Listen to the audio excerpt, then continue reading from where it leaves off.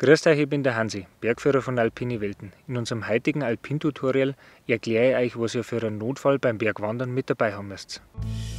Bei jeder Bergtour gilt, eine allgemeine Notfallausrüstung ist immer mit dabei.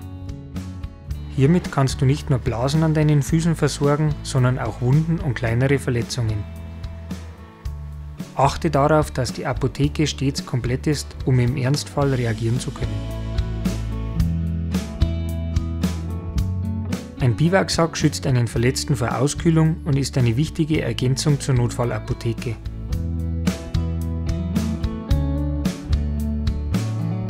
Eine weitere Sicherheitsreserve bildet eine Stirnlampe. Damit findest du in der Dunkelheit nicht nur den Weg zur nächsten Hütte, sondern kannst im Notfall auch auf dich aufmerksam machen. Eine kleine Pfeife oder die Handylampe helfen dir auch dabei, anderen deinen Standort zu signalisieren.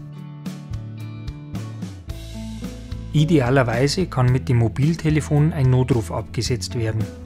Wichtig hierbei ist die klare und vollständige Meldung an die Rettungsleitstelle. Hierzu solltest du in der Lage sein, die 5 W-Fragen zu beantworten. Was ist passiert? Wo ist der Unfallort? Wie viele Personen sind verletzt? Wer meldet den Notruf? Und warten auf Rückfragen der Leitstelle. Die wichtigste und anspruchsvollste Frage ist die Wo-Frage, also eine genaue Angabe der Position. Im besten Fall kannst du eine GPS-Koordinate an die Leitstelle weitergeben. Ist dies nicht möglich, bleiben dir Karte und Höhenmesser zur möglichst genauen Standortbestimmung. Um im Ernstfall richtig handeln zu können, bietet es sich an, regelmäßig einen Erste-Hilfe-Kurs zu besuchen.